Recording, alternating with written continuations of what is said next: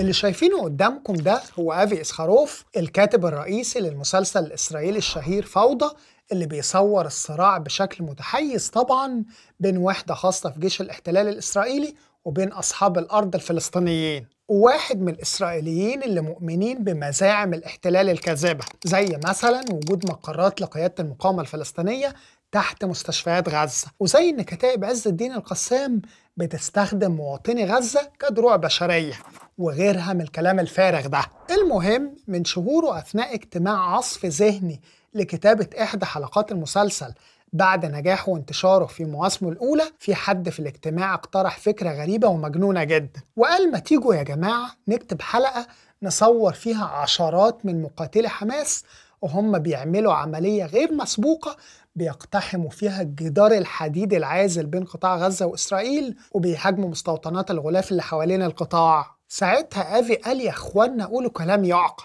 احتمالية إن عشرات فضلا عن آلاف من مقاتلي الحركة يقدروا ينفذوا هجوم بالحجم ده من غير ما جهاز الاستخبارات الداخلية الشباك والمخابرات العسكرية أمان ياخدوا بالهم. فسيبكم من الفكرة اللي مفيش حد هيصدقها دي وخلونا نشوف فكرة واقعية أكتر. طبعا أتصور إن آفي ندم جدا على إنه ساب الفكرة دي تمر من تحت إيده لأنه يوم 7 أكتوبر اللي فات يعني من 36 يوم بس اتحقق السيناريو الجنوني ده بالحرف وبالفعل أطلقت كتائب عز الدين القسام الجناح العسكري لحركة المقاومة الفلسطينية حماس هجومها الواسع المعروف بطوفان الأقصى بمئات المقاتلين على مستوطنات غلاف غزة واللي متابعينه كلنا ومتابعين تداعياته من ساعتها. واخترقت الجدار العازل كأنها بتتمشى في الحديقة الخلفية لبيت عادي. لكن الحقيقة أن وجهة نظر آفي دي أو استبعاده التام لهجوم زي ده كانت هي بالظبط وجهة نظر مجتمع الاستخبارات الإسرائيلي كله. المجتمع اللي ميزانيته زادت في العشر سنين اللي فاتوا الضعف واللي بيتصرف عليه حاليا أكتر من 5 مليار دولار سنويا. واللي أجهزته الرئيسية لا تخضع إلا لرئيس وزراء الكيان المحتل بس واللي بيعتبر أقوى منظومة استخباراتية في الشرق الأوسط وتاني أقوى منظومة استخبارات في الغرب وأكثرها تطورا بعد مجتمع الاستخبارات الأمريكي. أهو المجتمع ده كله بقوته بميزانيته المهولة فشل تماما في التنبؤ بهجوم حماس وفي تجميع المعلومات المتناثرة علشان يقدر يتوقعه ولو قبلها بفترة قصيرة. وكان فشله ده من ضمن الأسباب الرئيسية اللي أدت لتحطيم أسطورة منظومة الأمن الإسرائيلية التي لا تقهر. ولو ركزنا هنلاقي إن المرة الأخيرة اللي تعرض فيها إيمان الإسرائيليين الجماعي بمتانة أمنهم وقوة أجهزتهم الاستخباراتية للتدمير بالشكل العنيف ده كان من 50 سنة في بداية حرب أكتوبر 1973 الحرب اللي بيعتبرها بروس ريدل أحد كبار محللي شؤون الشرق الأوسط السابق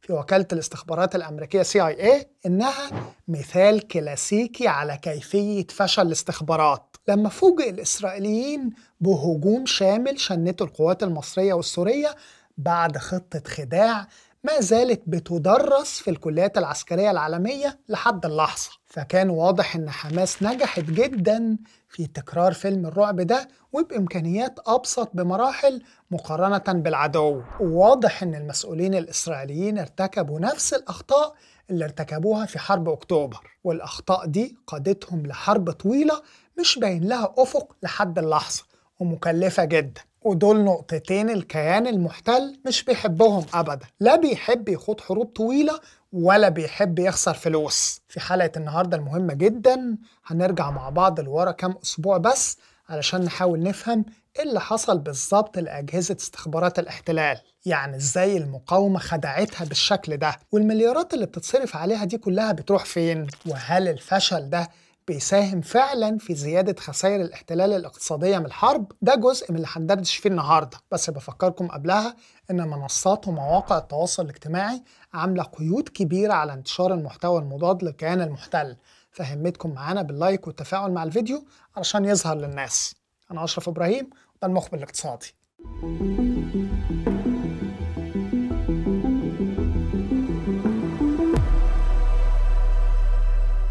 قبل ما نبدأ أنا وفريق المخبر الاقتصادي هنكون حابين نشكر جدا شركة تلافيت راعي حلقتنا النهارده. شركة تلافيت اتأسست سنة 2017 وهي شركة فيتنامية أسسها شاب مصري مكافح اسمه ضياء الدين أمين وبتصدر لأسواق مصر والسعودية والأردن وتركيا وغيرها منتجات مختلفة زي البن والفلفل وجوز الهند والقرفة والكاجو هتلاقوا تحت الفيديو بيانات شركة تلافيت لو في شركة أو تاجر حابب يتعامل معاهم ويستورد من خلالهم المنتجات دي يا ريت تعملوا ده. في أول 2018 وقف نداف أرجمان مدير الاستخبارات الإسرائيلية الداخلية المعروفة بالشباك أو الشين بيت وقتها في جلسة سرية قدام لجنة العلاقات الخارجية والدفاع علشان يعرض عليهم تقرير إنجازات الجهاز في 2017 والمخاطر المستقبلية للسنين الجاية في الجلسة دي واللي تسرب جزء منها لبعض وسائل الإعلام الإسرائيلية شرح نداف لأعضاء الكنيست إنه في خلال 2017 كشف الشباك ما لا يقل عن 148 خلية تابعة لحركة حماس كانت بتستعد لعمليات في الضفة الغربية وإن استجواب أعضاء الخلايا وضح للإسرائيليين وجود 8 خطط مفصلة لاختطاف جنود ومدنيين وإن الوضع مش مستقر بالمرة لا في غزة ولا في الضفة الغربية. ومؤسسة الدفاع بتاعتنا بتواجه تحديات كبيرة. وقال لهم بالحرف إن الوضع الحالي هو الهدوء الذي يسبق العاصفة. وقتها مجتمع استخبارات الاحتلال كان عنده هاجس واحد بس هو اللي شغله وهو إنه في وقت قريب واحدة من مئات المحاولات اللي المقاومة بتخطط لها سنويا هيتم تجاهلها أو تفويتها في نهاية المطاف. وبالتالي تنفيذها وإنه لو حصل هجوم ضخم واحد فده هيغير الوضع السياسي في المنطقة كلها. في نفس الوقت ده كانت وحدة أبحاث الشباك الداخلية وصلت لحالة مزرية من الضعف والتهميش. الوحدة دي يا إخوانا تم إنشائها مع بداية الانتفاضة الفلسطينية الأولى سنة 1987 لما الكيان المحتل لقى أن مجتمع الاستخبارات كله مفيش فيه قسم يقدر يتابع تطور التهديدات اللي بتواجهه ويقدم تحذيرات مسبقة بخصوصها. فأنشأوا الوحدة دي جوه الشباك لكن مع السنين تهمشت تماما. تلف الأيام ويتغير نداف أرجمان ويمسك مكان رونن بار اللي الظاهر إنه ما كانش عاوز يزعل رئيس الوزراء الإسرائيلي بنيامين نتنياهو أو يضايقه بتقارير ممكن يشوفها مبالغ فيها. طب ليه مش عاوز يزعل نتنياهو؟ لأن نتنياهو هو أكتر رئيس وزراء في تاريخ الكيان المحتل زود الإنفاق الدفاعي وميزانية أجهزة الاستخبارات اللي فشلت فشل ذريع في التعامل مع استعدادات المقاومة الذكية. وهو نفسه خدم في وحدة نخبة الكوماندو سيرة ماتكال اللي جزء معتبر من مهامها استخباراتية وحاولت تتجسس على منظومة اتصالات حركة حماس في 2018 وفشلت في ده فشل ذريع في عملية شهيرة. في السياق ده بقى مهم نعرف شوية معلومات سريعة عن تاريخ زيادات ميزانية مجتمع الاستخبارات الإسرائيلي على إيد نتنياهو وتحديدا جهاز الاستخبارات الداخلية الشباك والخارجية الموساد. لو بصينا هنلاقي إن أرقام الميزانية دي زادت بشكل كبير من ساعة ما تولى رئيس الوزراء بنيامين نتنياهو منصبه سنة 2009 ووصلت في 2018 ل 2.4 مليار دولار. وده رقم لا يشمل ميزانية جهاز الاستخبارات العسكري ولا يشمل تكلفة معاشات التقاعد للموظفين اللي تقاعدوا من الوكالتين واللي بتوصل لحوالي 259 مليون دولار سنويا. على مر السنين الحكومات الإسرائيلية أخفت ميزانيات الموساد والشباك عن الإسرائيليين وفي 2014 كشفت صحيفة هارتس الإسرائيلية إن الحكومة كانت بتحول الأموال بشكل سري للجهازين وده كان معناه إنه مفيش رقابة على الفلوس دي ولا بتروح فين. في 2015 ومع انتخابات الحكومة وافق يائير لابيد وزير مالية الاحتلال في الوقت ده ودان هارل المدير العام لوزارة الدفاع على فصل تمويل الشباك والموساد عن ميزانية جيش الاحتلال. وحطوها بشكل مستقل تحت بند اسمه الرمز 31 وفي بداية 2018 تم إدراج الموازنة دي ضمن بند موازنة الاحتياط العام مع تقديم طلب بعد كده للجنة المالية في الكنيست لتحويلها للموساد والشباك. التوجهات الأمنية دي دايما كانت هي المفضلة لرئيس الوزراء نتنياهو زي ما قلنا. اللي واحدة من جمله هي إنه في حاجة إسرائيلية مستمرة لزيادة الإنفاق الدفاعي لضمان المزيد من النمو الاقتصادي. وفي خطاب ليه في نهاية 2018 قال إن النفقات الأمنية الإضافية هتروح لتعزيز القدرات الهجومية للبلاد. والقدرات السيبرانية وتحديث أنظمتها الدفاعية المضادة للصواريخ وتدابير الحماية على الجبهة الداخلية واستكمال الحواجز الأمنية. الكلام ده انعكس بشكل واضح على استراتيجية نتنياهو في التعامل مع قطاع غزة وحركة حماس اللي بتحكمه وهي كانت استراتيجية بسيطة ومباشرة. إحنا هنحاصر القطاع من كل ناحية وهنعمل مشاريع أمنية حواليه تخليه أكبر سجن مفتوح ومراقب في العالم. وهنرفض حل الدولتين وهنستغل وجود حماس لإضعاف السلطة الفلسطينية مع شن عمليات كل كام سنة لتدمير قدرات المقاومة وإرجاعها لنقطة الصفر علشان تنشغل في بنائها من جديد. علشان كده هنلاقي الإسرائيليين طلعوا بكل المشروعات المجنونة اللي حصروا بها القطاع زي استكمال الحاجز البحري اللي بيفصل القطاع عن الحدود البحرية للكيان المحتل والجدار الحديدي المسلح اللي بلغ طوله أكتر من 40 ميل فوق وتحت الأرض وزي نظام مراقبة الحدود اللي بيعتمد بشكل شبه حصري على الكاميرات وأجهزة الاستشعار والمدافع الرشاشة اللي بيتم تشغيلها عن بعد. فكل ده مع التكنولوجيا الفائقة اللي بتتمتع بها أجهزة الاستخبارات زي شبكة كاميرات ستار تراك لمراقبة الحدود واللي بتستخدم الذكاء الاصطناعي للتعرف على الأشخاص والأشياء بشكل دقيق جدا. وال data المهولة اللي بياخدوها من الأقمار الصناعية بتاعتهم أو الأمريكية كمان ضمن برامج تبادل المعلومات بينهم وبين الأمريكيين. والطائرات بدون طيار اللي بتحلق في سماء غزة 24 ساعة وغيرها وغيرها من التقنيات المتطورة جدا. كل ده خلى المسؤولين العسكريين الإسرائيليين يؤمنوا تماما أنه من المستحيل تقريبا على أي حد أنه يتسلل لإسرائيل. وفي نفس الوقت خلى القلة العاقلة منهم واللي كانت عارفة أن الأسلوب ده لا يمكن أنه يسيطر على أسود المقاومة خلاهم يخافوا من مواجهة نتنياهو ومجلس الوزراء بمخاوفهم دي وتقييماتهم خوفا على مناصبهم. بجانب ده فأجهزة الاستخبارات الإسرائيلية ما أخدتش بالها من كذا علامة تحذير طلعوا في وشها أو اتعاملت مع بعض العلامات دي باستخفاف. وكان في افتقاد للخيال فيما يخص اللي تقدر عليه حماس والمقاومة الفلسطينية عموما. يعني مثلا سلاح الاستخبارات الإسرائيلي التابع لقوات الاحتلال البرية ICCC واللي بيجمع الاستخبارات ليها من على الأرض وتحديدا الوحدة 414 المعروفة بوحدة نسر والمسؤولة عن مراقبة النشاطات على حدود قطاع غزة كانت رصدت تدريبات لبعض قوات حماس على تفجير حاجز أو سور وهمي مرارا وتكرارا. ودي تدريبات كلنا شفنا جزء منها لما نشرتها كتائب عز الدين القسام بعد طوفان 7 أكتوبر. على صعيد آخر هنلاقي إن الوحدة 8200 اللي هي فخر الوحدات الاستخباراتية التقنية في الكيان المحتل وقبل عملية 7 أكتوبر بسنة كاملة توقفت تماما عن التنصت على أجهزة اللاسلكي المحمولة اللي استخدمها مقاتلو حماس في التواصل ليه ده حصل؟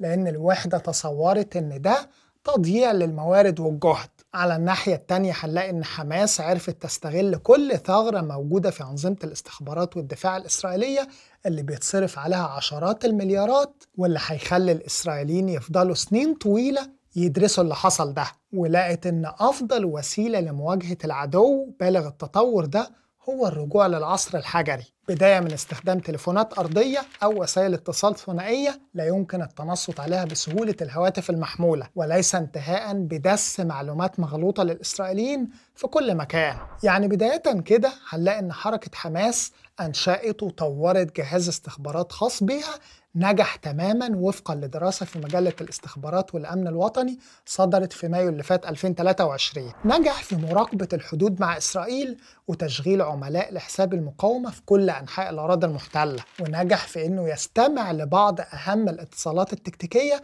لقوات الاحتلال الإسرائيلية والأهم أنها مررت معلومات مضللة من خلال القنوات اللي كانت عارفة إن المخابرات الإسرائيلية بتراقبها. بيأكد على ده ألون أرفاتس العضو السابق في الوحدة 8200 اللي قال إنه من الواضح إن حماس تمكنت من تجاوز قدرة إسرائيل على اعتراض الاتصالات الهاتفية والبريد الإلكتروني وتعلمت كيفية جمع المعلومات الاستخباراتية الإسرائيلية وكيفية تجنب كشف المعلومات الخاصة بيها. الشيء الأهم واللي سلطت عليه الضوء بيث سانر نائبة مدير الاستخبارات الوطنية الأمريكي السابق هو إن حماس اتبعت أقدم مدرسة ممكنة في التخطيط والتواصل وما كانش فيه أي تواصل إلكتروني يخلي الإسرائيليين يقدروا يكشفوا الملامح العامة للخطة بل بالعكس بيث بتعتقد إن حماس قسموا أفراد العملية لمجموعات صغيرة. كل مجموعة ما تعرفش غير مهمتها بس والاجتماعات بينهم بتكون فردية. بينما اللي عارف الخطة كلها عدد لا يتجاوز أصابع اليد الواحدة وبالشكل ده محدش في المجموعات دي كان مستوعب حجم الهجمات اللي كانوا بيتدربوا عليها وما كانوش يقدروا يكشفوا الخطة لو تم القبض على حد فيهم مثلا أو بعضهم وحتى لما كانت حماس بتستعد للعملية فضلت على اتصال يومي مع الحكومة الإسرائيلية علشان التنسيق المتواصل لحصص تصدير بعض البضائع وتصاريح العمال اللي بيطلعوا من غزة للأراضي المحتلة. وده خلى عدد كبير من المسؤولين الإسرائيليين يجزم بأن العمال دول ساعدوا في جمع المعلومات الاستخباراتية الحساسة بما في ذلك الخرائط الدقيقة لمستوطنات الغلاف وما تحتوي عليه. مع بداية يوم 7 أكتوبر بقى وفي منتصف الليل كان عدد من ضباط الشباك ومحللي المعلومات هناك. وعلى رأسهم مدير الشباك رونن بار نفسه ولما شاف اللي بيحصل ما كانش عارف لا هو ولا غيره يجزمه بأي حاجة. يعني هل دي أنشطة غريبة للمقاومة ولا ده تدريب ليلي عادي من تدريبات حماس المعتادة؟ وبمرور الوقت اعتقد رونن إن حماس آخرها في الحياة محاولة شن هجوم على نطاق صغير. وبعد ما ناقش تخوفه ده مع كبار الجنرالات الإسرائيليين أمر مدير شين بيت فريق تكيلا بالانتشار على الحدود الجنوبية للكيان المحتل. وتكيلا هي وحدة النخبة السرية التابعة للجهاز واللي بيتبص لها في إسرائيل على إنها الملاذ الأخير في وقف أي هجوم وشيك. وبعد ساعات قليلة وحدة تكيلا لقت نفسها وجها لوجه مع مقاتلي كتائب عز الدين القسام اللي لقوهم داخلين عليهم زي العاصفة من كل مكان في البر والبحر والجو.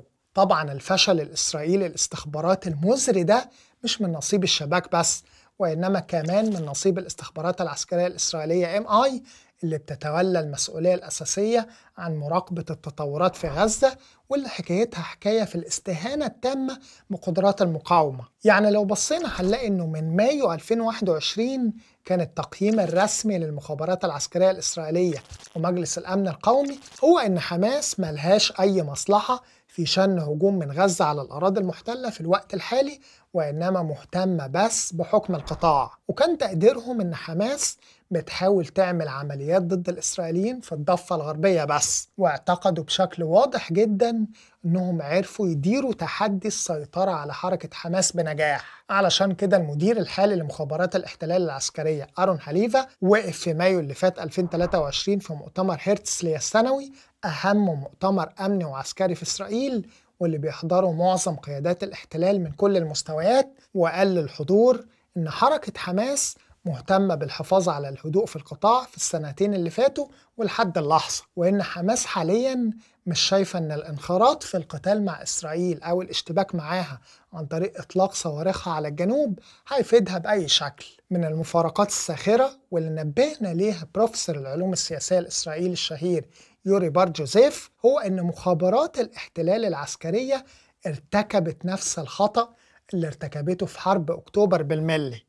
لما تجاهلت معلومات واضحة قبل الحرب مباشرة عن أنشطة مصرية على الضفة وجزمت بأن دي تدريبات عادية. وبعد خمسين سنة كرروا نفس الغلطة لما بلغتهم يائير روتنبرج جندية الرصد الإسرائيلية على حدود غزة عن بعض أنشطة رجال المقاومة قبل الهجوم وردوا عليها بأن دي أنشطة زراعية غالبا ومفيش فيها خطر. بعد حرب أكتوبر طورت الإستخبارات العسكرية نسخة إسرائيلية من تكنيك تحليلي بيطلق عليه اسم محامي الشيطان. ودي وحدة كانت مهمتها تقديم سيناريو معاكس للسيناريوهات التقليدية أو المتوقعة أو المتفق عليها. يعني لو جهاز الاستخبارات العسكرية كله متفق على إن حماس مش ممكن تعمل حاجة فمهمة الوحدة دي إنها تفترض حدوث هجوم حمساوي بأكبر صورة ممكنة. لكن يبدو زي ما بيقول البروفيسور يوري إن سيناريو افتراض هجوم طوفان الأقصى ما كانش موجود في المخيلة الإسرائيلية بالمرة ومفكروش في الاستفادات اللي هتحققها المقاومة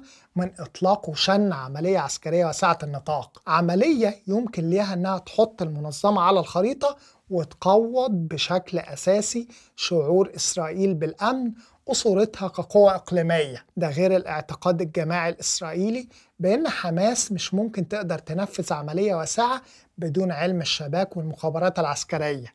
وهو اعتقاد حماس دمرته على ما يبدو للأبد. الفشل الاستخباراتي ده كلف الكيان المحتل دخول حرب هو غير مستعد لها على الإطلاق بشهادة حلفائه نفسهم. وده أدى لخسائر اقتصادية مهولة بتتزايد كل لحظة وربما تفضي بالكيان المحتل لكارثة اقتصادية. يعني يكفي تعرفوا أن الحرب الحالية بتكلف الاحتلال 260 مليون دولار يوميا وأن خسائره من بداية العدوان على غزة تجاوزت ال 8 مليار دولار. بينما بتتوقع وزارة المالية الإسرائيلية أن الخسائر دي هتعدي 50 مليار دولار على الأقل لو الحرب كملت لشهور قادمة. ولحد سنة مثلا. والرقم الضخم جدا ده بافتراض أن الحرب هتفضل مكملة على قطاع غزة بس بدون ما تتفتح أي جبهات تانية سواء في لبنان أو إيران. وبفرض برضه عودة عدد كبير من احتياطي جيش الاحتلال الموجودين حاليا على ذمة الجيش لأعمالهم الطبيعية. لحد هنا أنا خلصت كلامي وقبل ما أختم عندي سؤال لحضراتكم. إسرائيل بتحاول تعمل غزو بري شامل لقطاع غزة زي ما أنتم عارفين والأمريكان بيحذروهم من الخطوة دي. تفتكروا إيه اللي منتظر الجنود الإسرائيليين لو دخلوا في عمق القطاع؟ أتابع كل إجاباتكم في التعليقات. هتلاقوا تحت الفيديو بيانات شركة تلافيت لو في شركة أو تاجر حابب يتعامل معاهم ويستورد من خلالهم المنتجات دي يا ريت تعملوا ده. في النهاية نتمنى السلامة لأهلنا وإخواتنا في قطاع غزة وفي كامل الأراضي الفلسطينية المحتلة. إحنا معاكم وجنبكم. بفكركم بالتفاعل مع الفيديو علشان يظهر للناس ويفلت من القيود الحالية لمنصات التواصل الاجتماعي كلها على أي محتوى مناهض للكيان المحتل. سلام.